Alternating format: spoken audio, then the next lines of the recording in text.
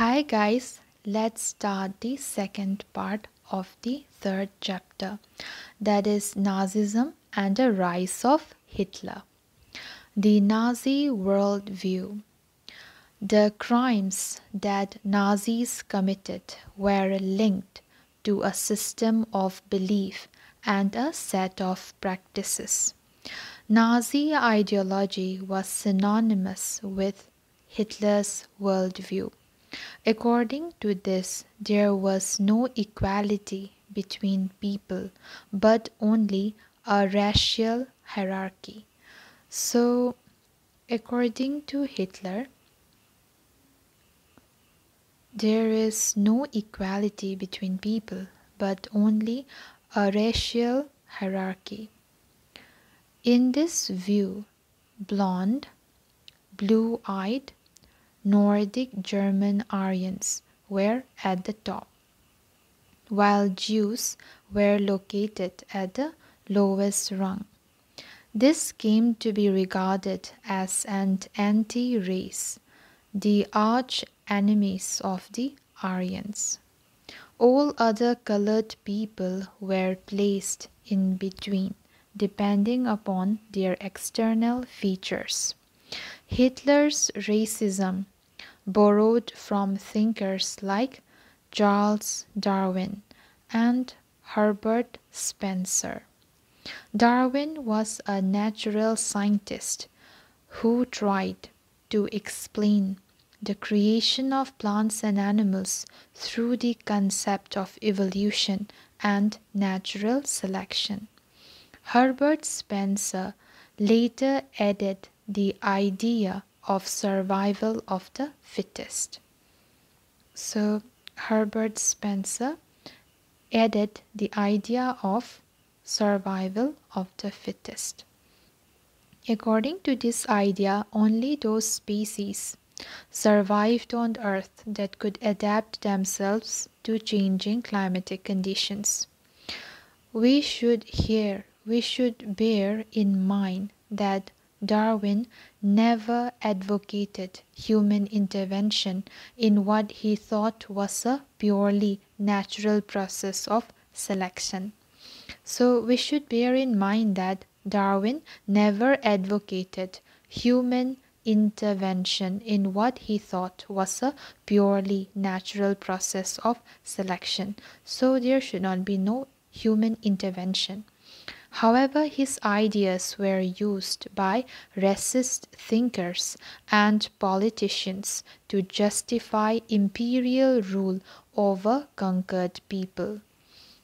The Nazi argument was simple the strongest race would survive and the weak ones would perish. So, the Nazi argument was that the strongest race would survive and the weak ones would perish. The Aryan race was the fittest. It had to retain its purity, become stronger, and dominate the world. The other aspect of Hitler's ideology related to the geopolitical concept of Lebensraum or living space. He believed that new territories had to be acquired for settlement. This would enhance the area of the mother country, which enables the settlers on new lands to retain an intimate link with the place of their origin. It would also enhance the material resources and power of the German nation. Hitler intended to extend German boundaries by moving eastwards to concentrate all Germans geographically in one place. Poland became the laboratory for his experimentation. Then we have some sources. Source A For this earth is not allotted to anyone, nor is it presented to anyone as a gift. It is awarded as providence to people who in their hearts have the courage to conquer it, the strength to preserve it, and the industry to put it to the plough.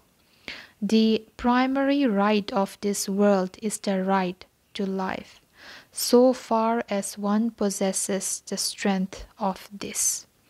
Hence, on the basis of this right, a vigorous nation will always find ways of adapting its territory to its population size.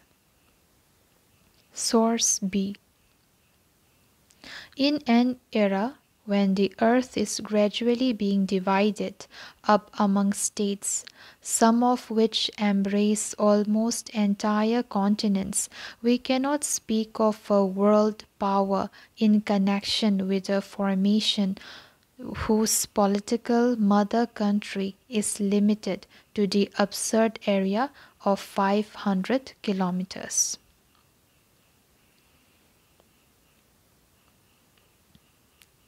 Once in power, the Nazis quickly began to implement their dream of creating an exclusive racial community of pure Germans by physically eliminating. So, they physically eliminated. So, by physically eliminating all those who were seen as undesirable in the extended empire. So, who are these Nordic German Aryans? One branch of those classified as Aryans. They lived in North European countries and had German or related origin.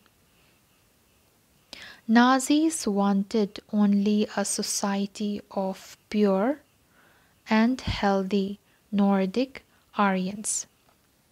They alone were considered desirable.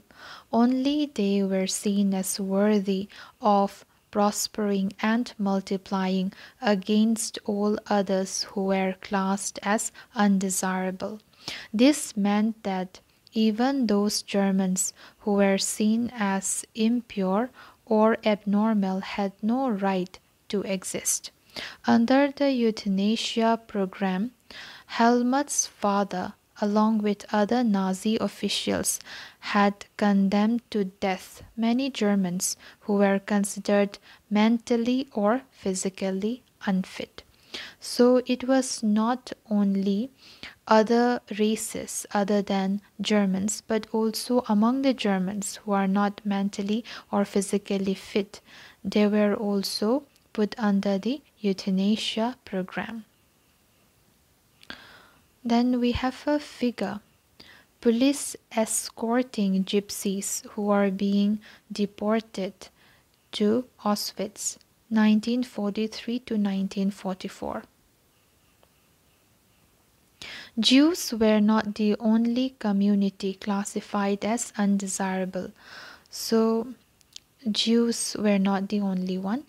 There were others, many gypsies and blacks living in Nazi Germany were considered as racial inferiors who threatened the biological purity of the superior Aryan race. They were widely persecuted. Even Russians and Poles were considered subhuman. So it's not only the Jews, Gypsies, or blacks, but Russians and Poles were considered subhuman and hence un, and hence undeserving of any humanity. When Germany occupied Poland and parts of Russia, captured civilians were forced to work as slave labor. Many of them died simply through hard work and starvation. Jews remained the worst sufferers in Nazi Germany. So, Jews were the worst sufferers.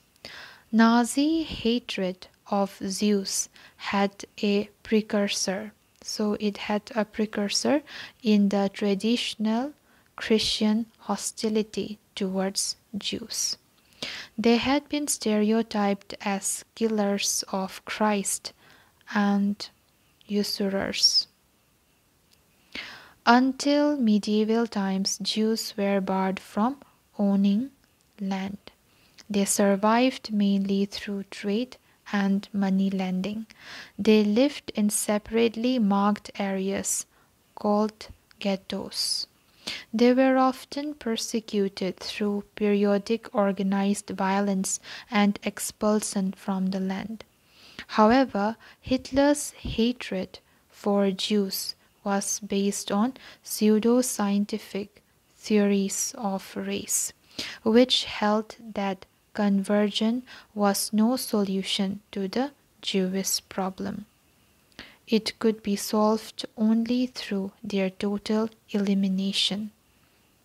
From 1933 to 1938, the Nazis terrorized, pauperized, and segregated the Jews, compelling them to leave the country. The next phase, 1939 to 1945, aimed at concentrating them in certain areas and eventually killing them in gas chambers in Poland. So we have got some new words. The first one is gypsy. The groups that were classified as gypsy had their own community identity. Sinti and Roma were two such communities. Many of them traced their origin to India. Pauperized, reduced to absolute poverty. Persecution, systematic, organized punishment of those belonging to a group or religion. Usurers, moneylenders charging excessive interest, often used as a term of abuse.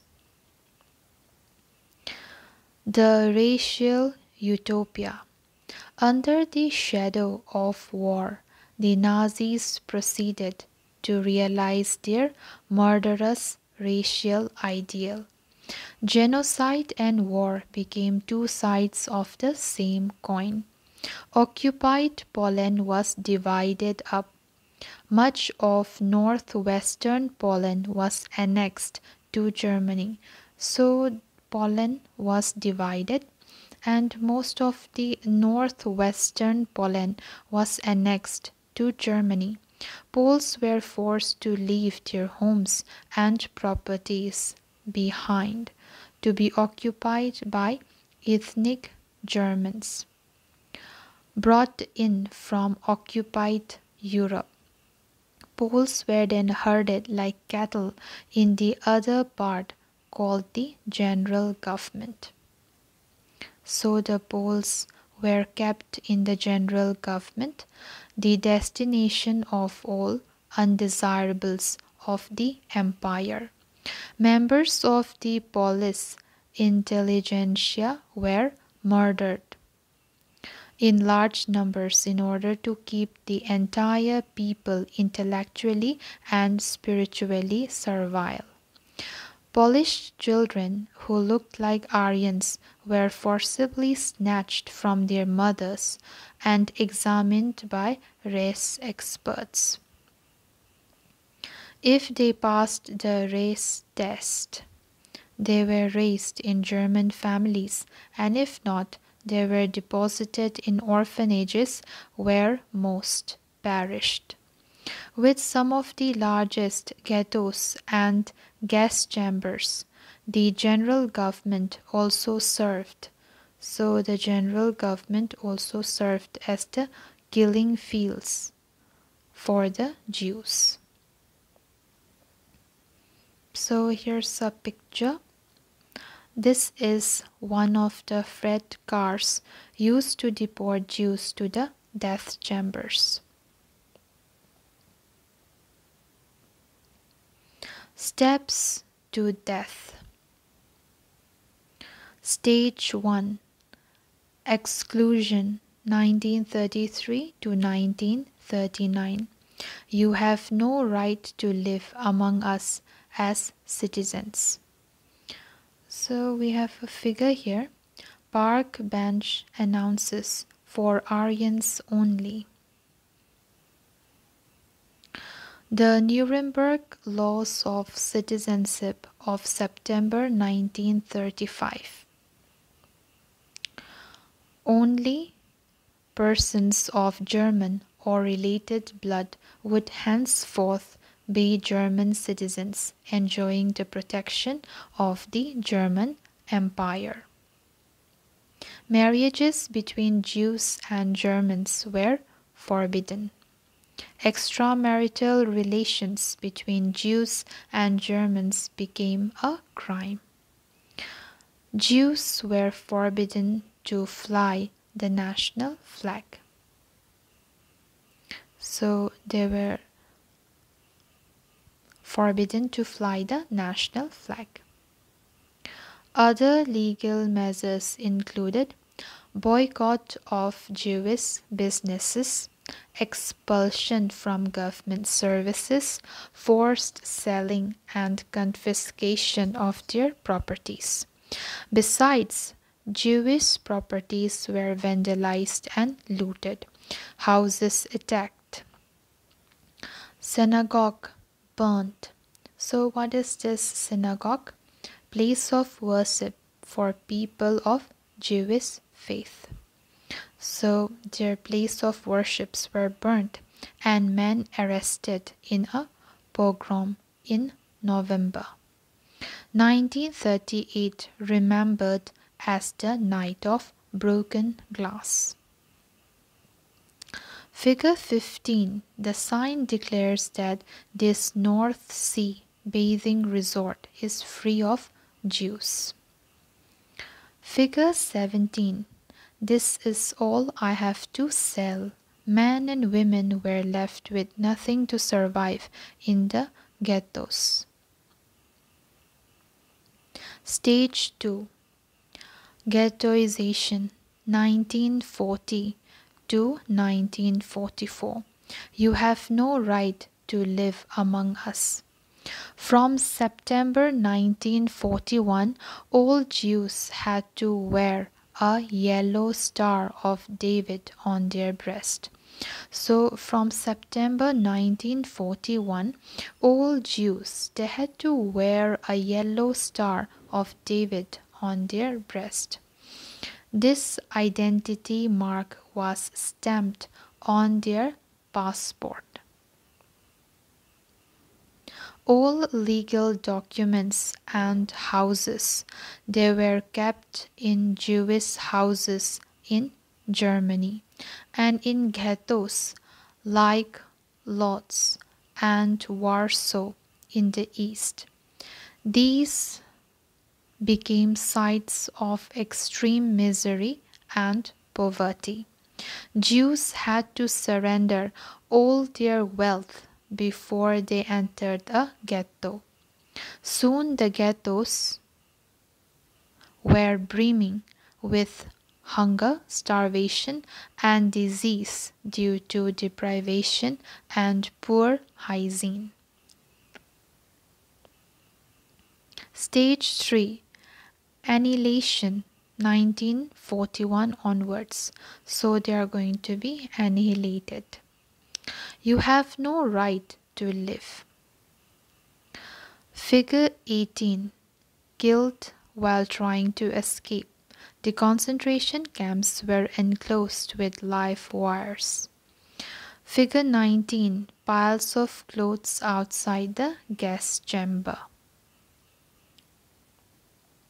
Jews from Jewish houses, concentration camps, and ghettos from different parts of Europe were brought to death factories by goods trains. In Poland and elsewhere in the East, most notably Belzec, Auschwitz, Sobibor, Treblinka, Chelmno, and Majdanek. They were jarred in gas, in gas chambers. Mass killings took place within minutes with scientific precision. Figure 20 A concentration camp.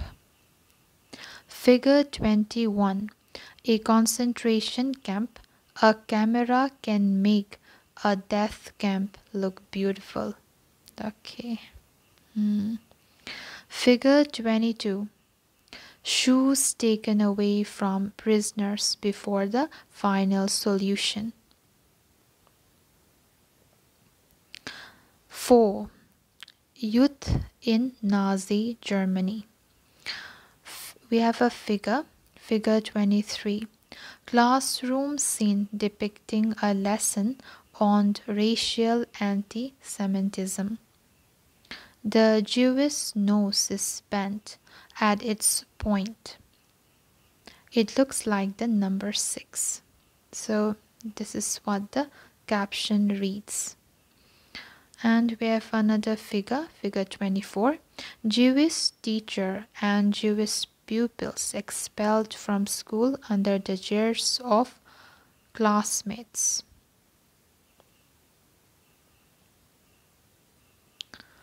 Hitler was fanatically interested in the youth of the country. He felt that a strong Nazi society could be established only by teaching children Nazi ideology. This required a control over the child, both inside and outside school. So he felt that a strong Nazi society could be established only by teaching children Nazi ideology.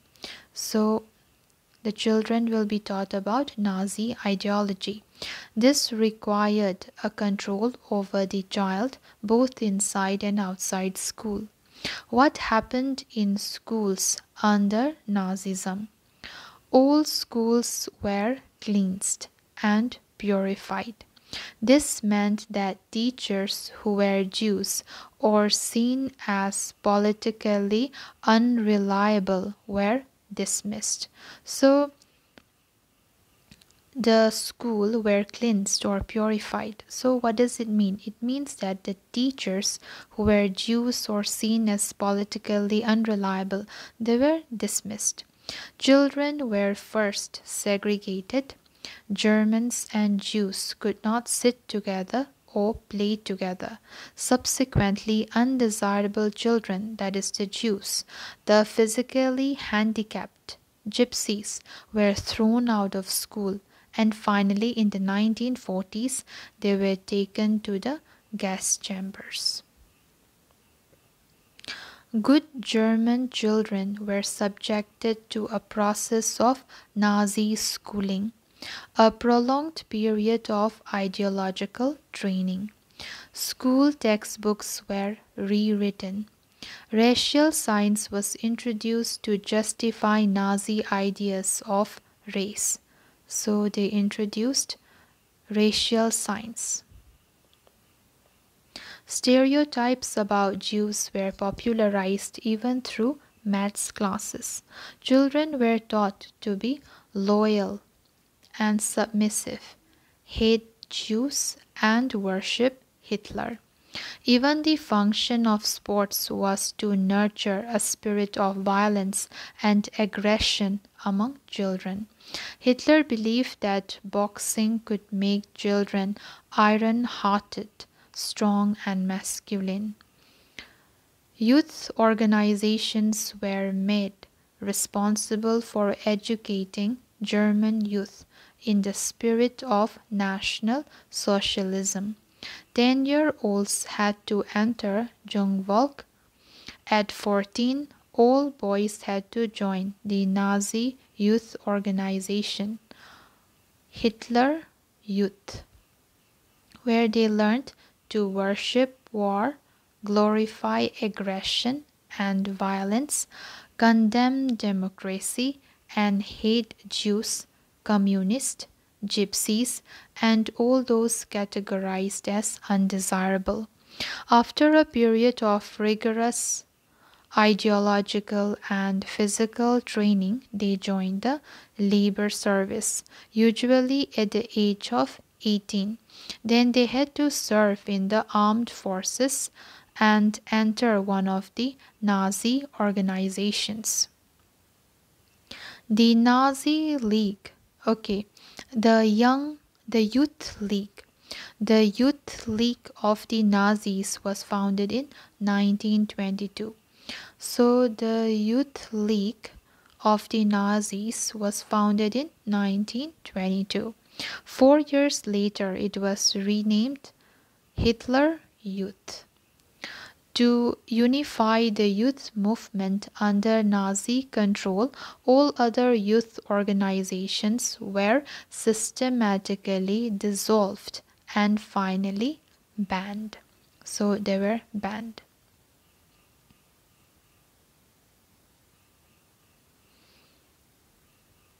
Then, what is Jungvolk? They're Nazi youth groups for children below 14 years of age. So, we have a source. All boys between the ages of 6 and 10 went through a preliminary training in Nazi ideology. At the end of the training, they had to take the following oath of loyalty to Hitler. In the presence of this blood banner, which represents our Führer, I swear to devote all my energies and my strength to the savior of our country, Adolf Hitler. I am willing and ready to give up my life for him. So help me God. Okay, this was the oath. Source D. Robert Ley, head of the German Labor Front, said, We start when the child is three years old. As soon as he even starts to think, he is given a little flag to wave. Then comes school, the Hitler Youth, military service. But when all this is over, we don't let go of anyone the labor front takes hold of them and helps and keeps hold until they go to the grave, whether they like it or not. So the front, the labor front, uh, it takes hold of them and keeps hold until they go to the grave, that is, till they die, whether they like it or not. So there's no freedom, they were forced, by the way.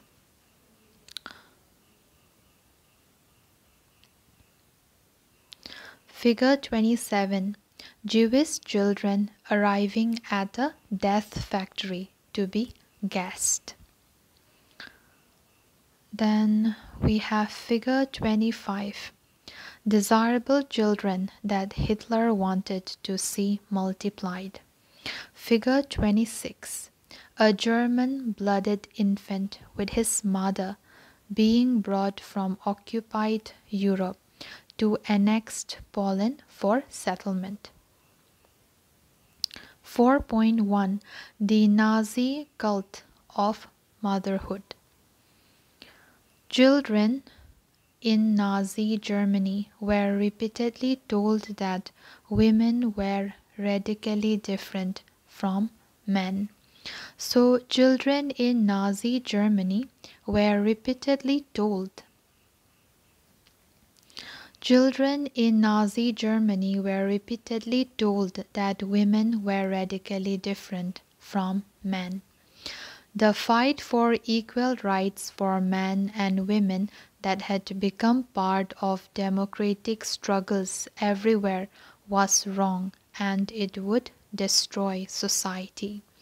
While boys were taught to be aggressive, masculine, and still hearted, girls were told that they had to become good mothers and rear pure blooded Aryan children. Girls had to maintain the purity of the race and distance themselves from Jews, look after the home, and teach their children Nazi values.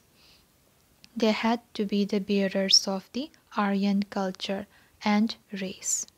In 1933, Hitler said, In my state, the mother is the most important citizen.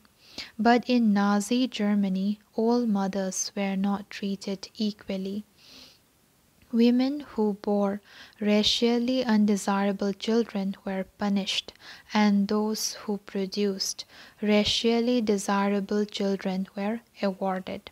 They were given favored treatment in hospitals and were also entitled to concessions in shops and on theater tickets and railway fares.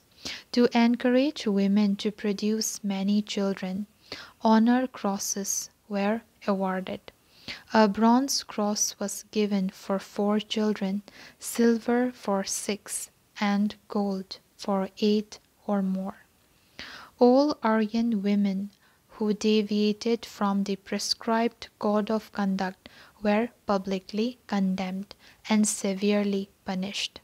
Those who maintained contact with Jews, Poles, and Russians were paraded through the town with shaved heads, blackened faces, and placards hanging around their necks announcing, I have served the honor of the nation. Many received jail sentences and lost civic honor, as well as their husbands and families, for this criminal offense.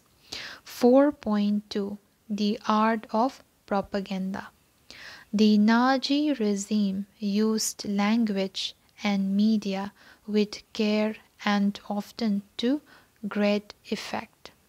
The terms they coined to describe their various practices are not only deceptive, they are chilling. Nazis never used the words kill or murder in their official communications. Mass killings were termed, so they use other words. For mass killings, they were termed special treatment, salt, sol- final solution for the Jews.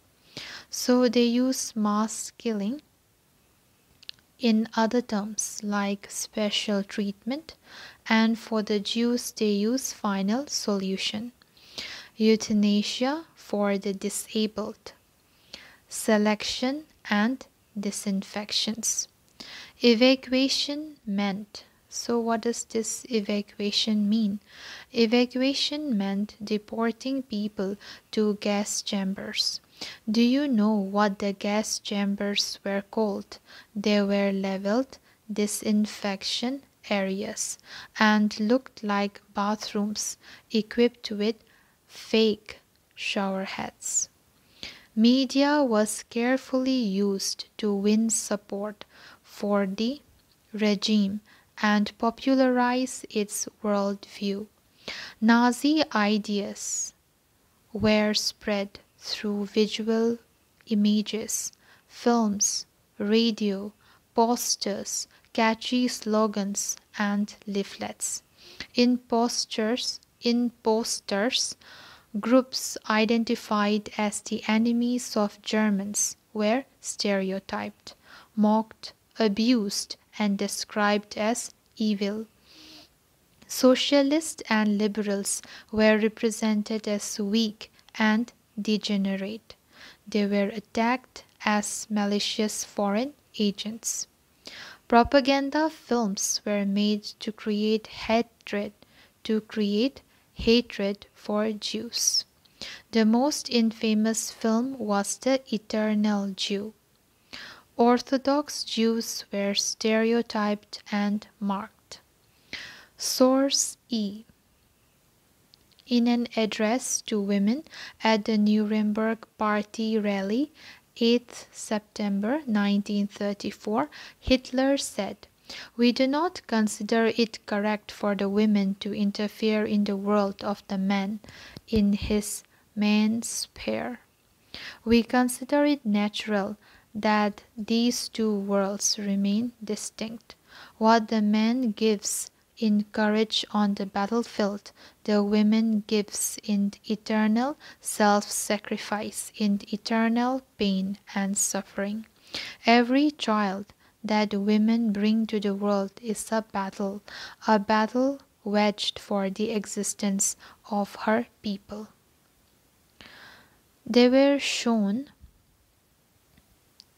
with flowing beards, wearing kaftans, whereas in reality it was difficult to distinguish German Jews by their outward appearance because they were a highly assimilated community. So, how did they represent the Jews? They were shown with flowing beards, wearing kaftans, whereas in reality it was difficult to distinguish German Jews by their outward appearance because they were a highly assimilated community. So we have another source F. Hitler at the Nuremberg Party rally 8 September 1934 also said, The women is the most stable element in the preservation of a folk.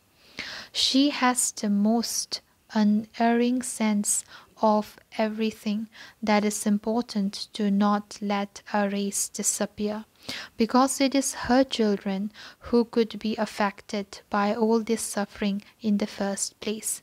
That is why we have integrated the women in the struggle of the racial community, just as nature and providence have determined so. They were referred to as vermin, rats, and pets.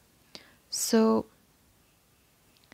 the Jews, they were referred to as vermin, rats, and pets. So the Jews were referred to as vermin, rats, and pest. Their movements were compared to those of rodents.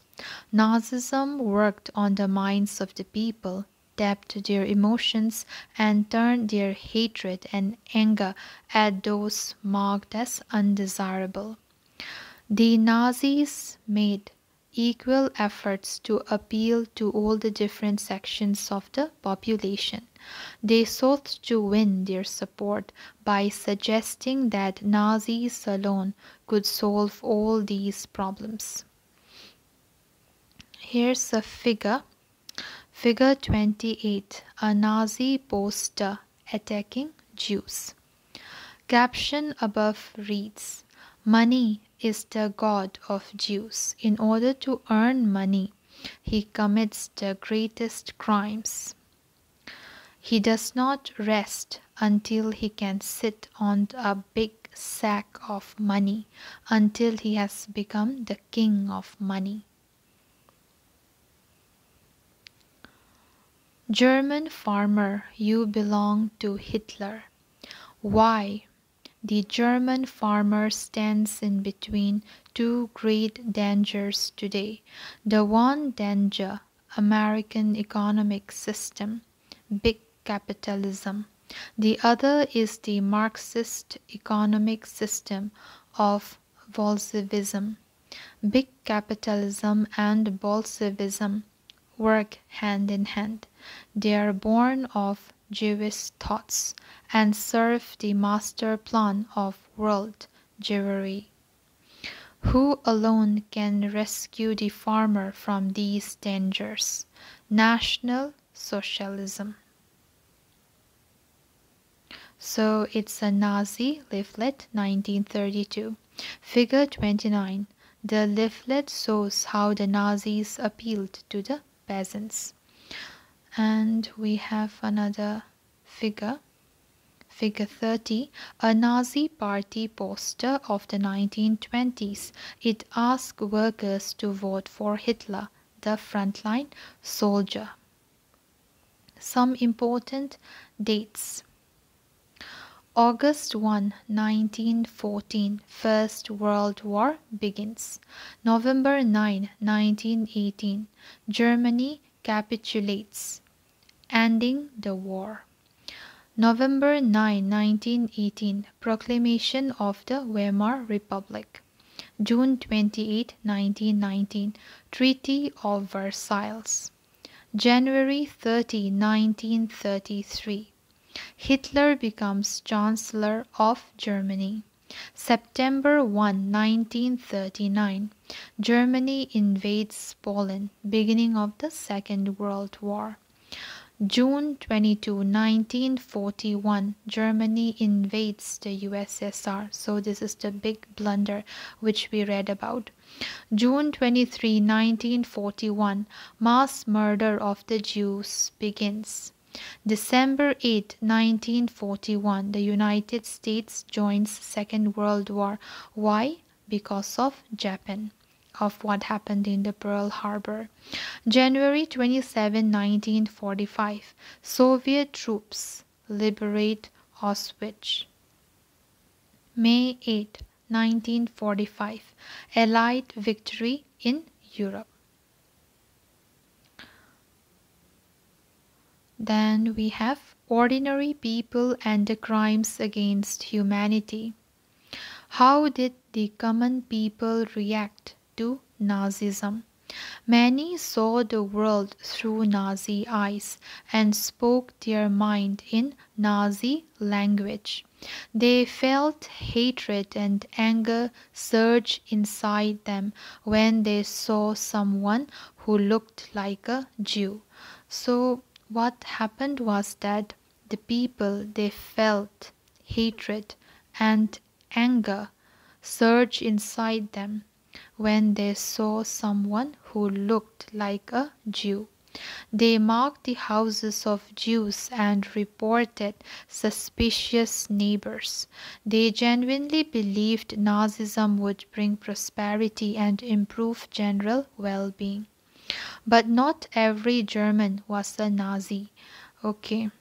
But not every German was a Nazi. Many organized active resistance to Nazism, braving police repression and death. The large majority of Germans, however, were passive onlookers and apathetic witnesses. They were too scared to act, to differ, to protest. They preferred to look away. Pastor Niemöller, a resistance fighter, observed an absence of protest and uncanny license amongst ordinary Germans in the face of brutal and organized crimes committed against people in the Nazi Empire. He wrote movingly about this silence. First, they came for the communist well, I was not a communist, so I said nothing. Then they came for the Social Democrats. Well, I was not a Social Democrat, so I did nothing. Then they came for the trade unionist, but I was not a trade unionist. And then they came for the Jews, but I was not a Jew, so I did little. Then, when they came for me, there was no one left who could stand up for me. Okay, it's a powerful message. Box 1 Was the lack of concern for Nazi victims only because of the terror? No, says Lawrence Rees, who interviewed people from diverse backgrounds for his recent documentary. The Nazis a warning from history. Erna Kranz, an ordinary German teenager in the 1930s and a grandmother now, said to Rees, 1930s offered a glimmer of hope, not just for the unemployed, but for everybody, for we all felt downtrodden. From my own experience, I could say salaries increased and Germany seemed to have regained its sense of purpose. I could only say for myself, I thought it was a good time. I liked it. Okay, some of the Germans, they liked it. What Jews felt in Nazi Germany is a different story altogether. Charlotte Beradt secretly recorded people's dreams in her diary and later published them in a highly disconcerting book called The Third Reich of Dreams. She describes how Jews themselves began believing in the Nazi stereotypes about them. They dreamt of their hooked noses, black hair and eyes, Jewish looks and body movements. The stereotypical images publicized in the Nazi press haunted the Jews. They troubled them even in their dreams. Jews died many deaths even before they reached the gas chamber. Figure 31. So here's a figure. Inhabitants of the Warsaw Ghetto collected documents and placed them in three milk cans along with other containers as destruction seemed imminent. These containers were buried in the cellars of buildings in 1943. This can was discovered in 1950. 5.1 Knowledge about the Holocaust Information about Nazi practices had trickled out of Germany during the last years of the regime, but it was only after the war ended and Germany was defeated. Uh, but it was only after the war ended and Germany was defeated that the world came to realize the horrors of what had happened. While the Germans were preoccupied with their own plight, as a defeated nation emerging out of the rubble, the Jews wanted the world to remember the atrocities and sufferings they had endured during the Nazi killing operations, also called the Holocaust. At its height, a ghetto inhabitant had said to another that he wanted to outlive the war just for half an hour. Presumably, he meant that he wanted to be able to tell the world about what had happened in Nazi Germany. This indomitable spirit to bear witness and to preserve the documents can be seen in many ghetto and camp inhabitants who wrote diaries, kept notebooks, and created archives. On the other hand, when the war seemed lost, the Nazi leadership distributed petrol on its functionaries to destroy all incriminating evidence available in offices. Yet the history and the memory of the Holocaust live on in memoirs, fiction, documentaries, poetry, memorials, and museums in many parts of the world today. These are a tribute to those who resisted it and embarrassing reminder to those who collaborated and a warning to those who watched in silence. Mm, it's true for those who watched in silence. Figure 32 Denmark secretly rescued their Jews from Germany. This is one of the boats used for the purpose. Box 2 Mahatma Gandhi writes to Hitler. Letter to Adolf Hitler. Asad Wardha, C.P. India, July 23, 1939. Herr Hitler, Berlin, Germany. Dear friend, friends have been urging me to write to you for the sake of humanity, but I have resisted their request because of the feeling that any letter from me would be an impertinence. Something tells me that I must not calculate and that I must make my appeal for whatever it may be worth. It is quite clear that you are today the one person in the world who can prevent a war which may reduce humanity to the savage state. Must you pay that price for an object, however worthy it may appear to you to be? Will you listen to the appeal of one who has deliberately shunned the method of war, not without considerable success? Anyway, I anticipate your forgiveness if I have erred in writing to you. I remain your sincere friend, M. K. Gandhi. The Collected Works of Mahatma Gandhi, Volume 76. Letter to Adolf Hitler, Wardha, December 24, 1940. We have found in non-violence a force which, if organized, can without doubt match itself against a combination of all the most violent forces in the world. In non-violent technique, as I have said, there is no such thing as defeat. It is all do or die without killing or hurting. Okay. It is all do or die without killing or hurting. It can be used practically without money and obviously without the aid of science of destruction which you have brought to such perfection. It is a marvel to me that you do not see that it is nobody's monopoly.